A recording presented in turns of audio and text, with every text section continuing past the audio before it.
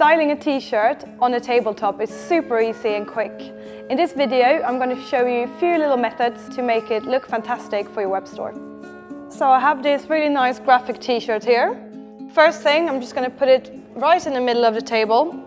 The thing to look out for is to make sure that your um, neckline and shoulders are level. Once so you can see that they are level and looking really straight, I would move on to tucking the seams in on each side to give it that natural shape they would have around the body.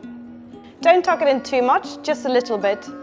If it's a lady's t-shirt, you might want to give it a little bit more shape, whether if it's a men's one, I would keep it very straight. Then you go ahead and do exactly the same thing on the other side, making sure that you're tucking it under equally as much on both sides. I'll then move on to the sleeves and I will just slide the sleeves in under the body a little bit to give it a more natural look. I would also go ahead and tuck the uh, back of the t-shirt up so it's not showing outside of the front. It just gives it a really nice and neat finish.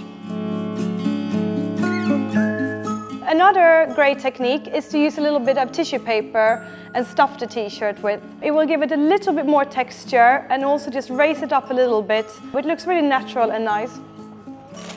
I will go ahead and just put some tissue paper in the t-shirt.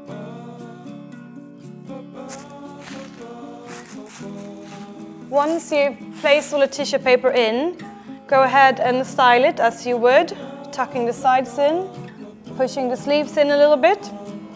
Now you will have a little bit of added volume to it.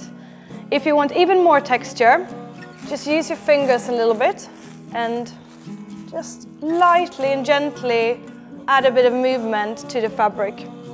It's also worth looking at the light when you add the movements. So I'm going to play around with the light here and see which one will bring out the texture the best. I think the light uh, looks really great up in the left hand corner and you can really see the texture on the t-shirt. As you can see, styling t-shirts on a flat lay is really quick and easy. Use the techniques I've shown you here today, such as tucking the seams and also adding tissue paper in the t-shirt to really bring out a nice volume and texture.